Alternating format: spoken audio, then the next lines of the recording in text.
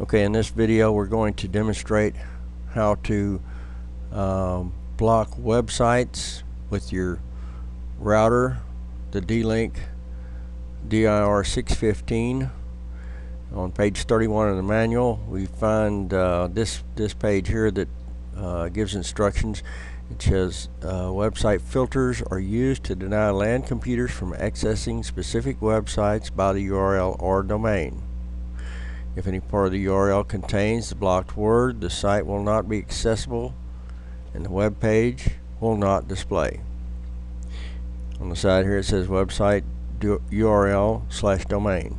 Enter the keywords or URLs you want to block or allow. Any URL with the keyword on it will be blocked.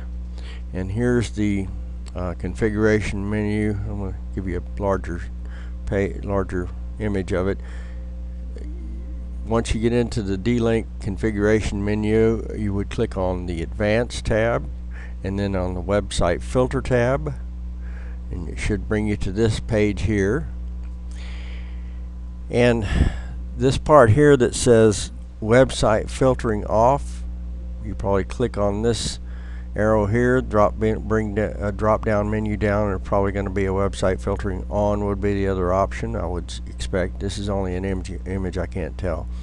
And then here you would type in uh, separate domain names as many as you want. As you see they've got a bunch of uh, blocks there for them and uh, should be something like this. Just type in facebook.com youtube.com whatever else you may need you know to for, uh, in the future to block and then click on save settings and that should do it.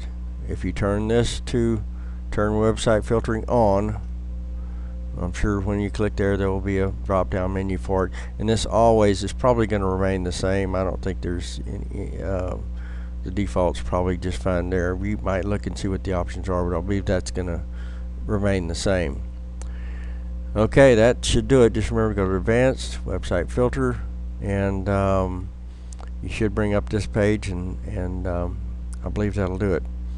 Let me know if it works. You, of course you'll have to test it. Um, once you get finished take your browser to uh, facebook.com or youtube.com and uh, if it if it doesn't come up then you know you've blocked it. You might test before you start and see if you can go to facebook.com if it you know brings up the page just fine. And then after you change this setting and click on remember to click on save settings and then try it again and it should be blocked and the page should not come up.